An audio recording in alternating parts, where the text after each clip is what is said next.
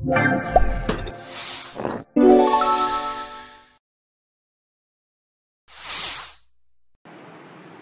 நான் உங்கள் ஆஷா பேசுகிறேன் எல்லாரும் வந்துட்டு face pack hair pack tips கேட்டுகிட்டே இருந்தீங்க.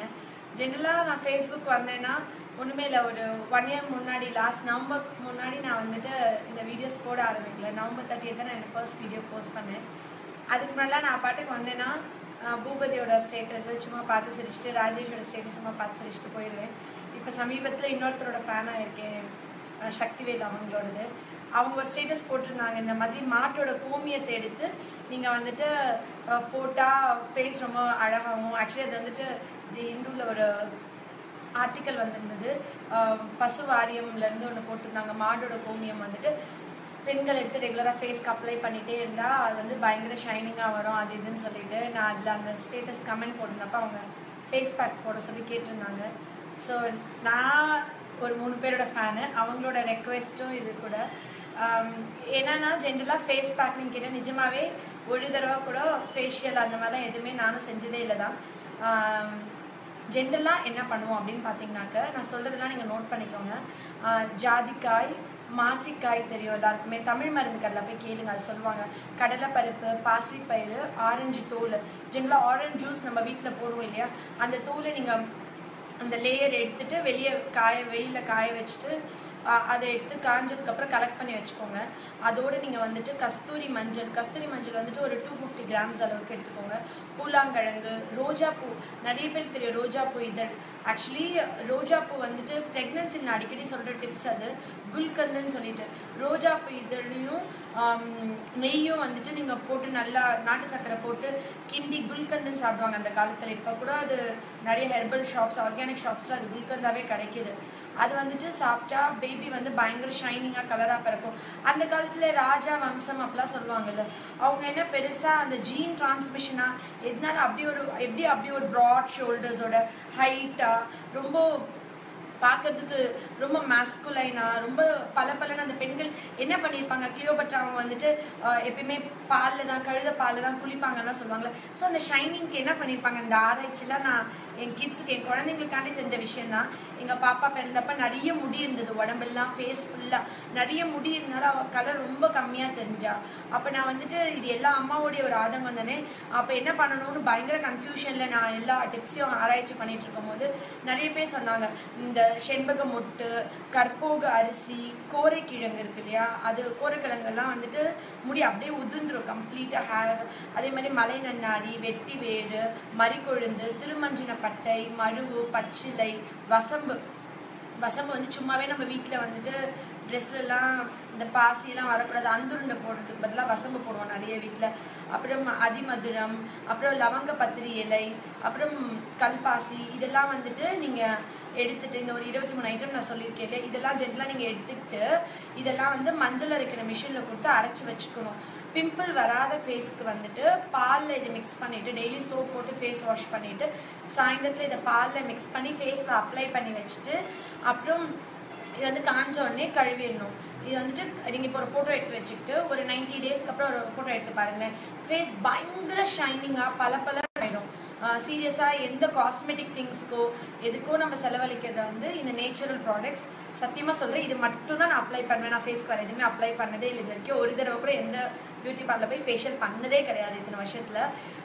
இது வந்து சின்ன வயசில் எங்கள் அம்மா எனக்கு செஞ்சுருக்காங்க. அதுக்கப்புறம் நான் ஒரு காலேஜ் படிக்கும்போது நம்ம ஆப்வியஸாக விட்டுருவோம். டென் இயர்ஸ்லேயே அப்புறம் என் பாப்பா பிறந்தப்புறம் என் பாப்பாக்காண்டி அந்த முடி ஃபுல்லாக கொட்டணும். இதெல்லாம் குழந்தைங்களுக்கு நிறைய உடம்புல ஹேர் இருக்கும் ஃபேஸ்லலாம் இதெல்லாம் நீங்கள் போட்டுட்டு இப்படி ரிவர்ஸில் தேய்க்கணும்.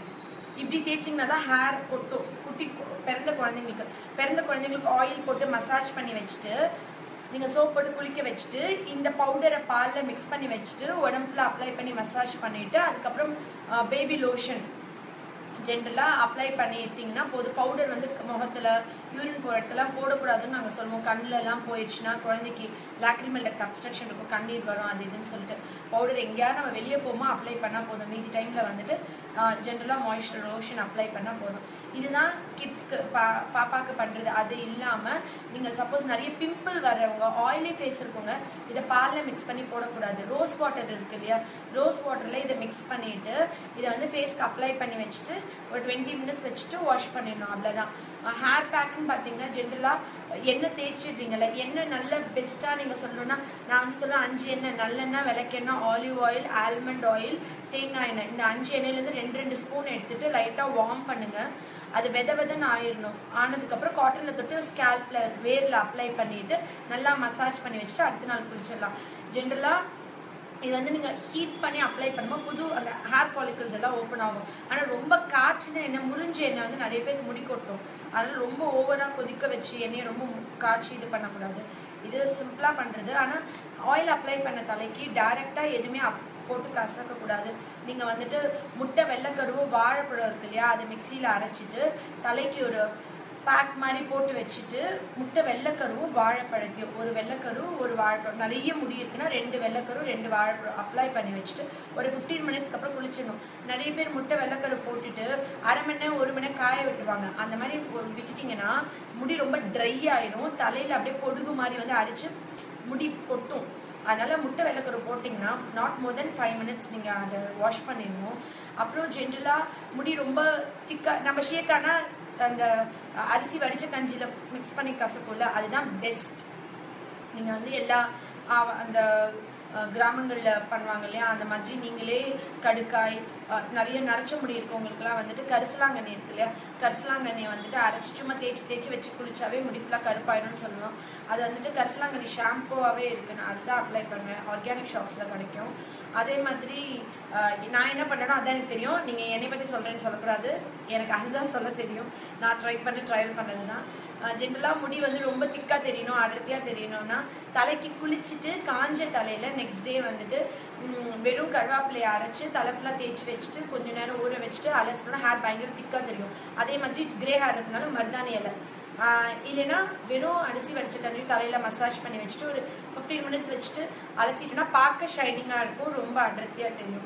ஹேர் டிப்ஸ் இவ்வளோ தான் எனக்கு தெரியும். நான் இது மட்டும் தான் செஞ்சுருக்கேன். ஆனால் நீங்கள் வந்துட்டு ஜென்ரலாக நிறைய பேரிச்சம்பழம் ஒரு நாளைக்கு எட்டு பேரிச்சம்பழம் பப்பாளி அப்புறம் கருவேப்பிலை கஷாயம். நான் சொன்னேன் இல்லையா அந்த கருவேப்பிலையை கைப்பிடி அளவுக்கு எடுத்துட்டு அரைச்சிட்டு அதை ஒரு டம்ளர் தண்ணி ஊற்றி கொதிக்க வச்சு ஹாஃப் டம்ளர் அளவுக்கு வத்தின உடனே பாதி லெமன் பிழிஞ்சு சுகர் போட்டு லெமன் ஜூஸ் மாதிரி குடிங்க.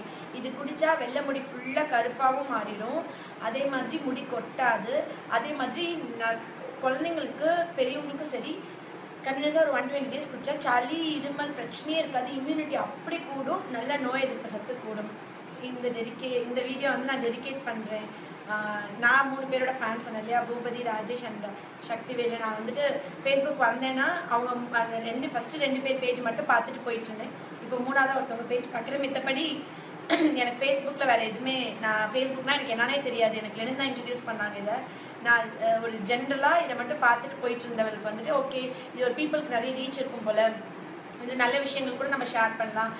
நல்ல டிப்ஸ் போடலாம். இது நிறைய பேர் பயன்படும் அப்படின்ற ஒரு அலாரம் ஸ்பார்க் வந்து எனக்கு பூபதியும் இவர் ராஜேஷ் பேஜ் பார்த்தா அந்த கிடச்சிது.